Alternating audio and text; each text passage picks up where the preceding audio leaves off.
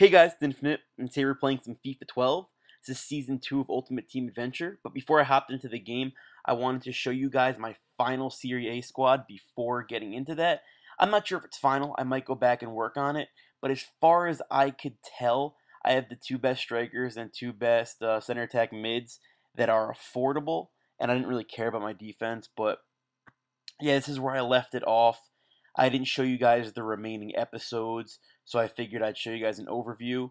And in building my new team, I did not touch any of these players or any of the bench players. If I did, it was an accident with the bench players. I might have forgot, but I did not. I tried my best not to touch any of it.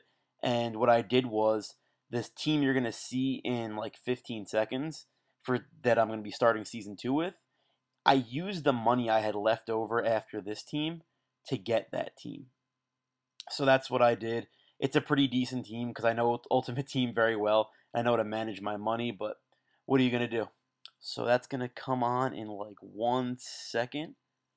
Uh, all right, here we go. So this is the team I am starting the new series with.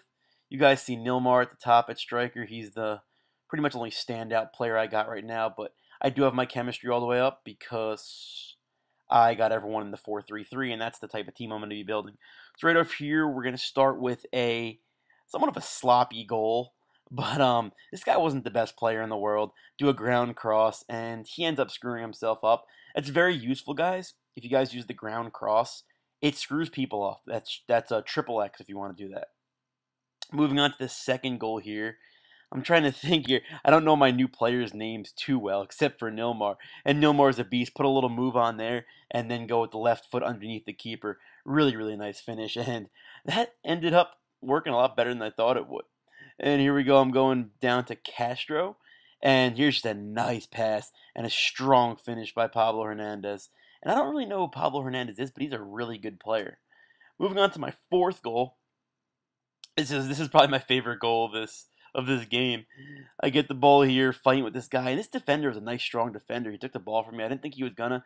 He fails to clear, and I get this nice finesse goal with Nilmar. Put it where the keeper just couldn't do anything about it.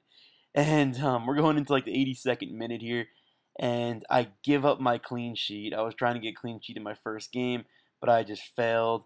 He sent that guy on a run, and I missed it.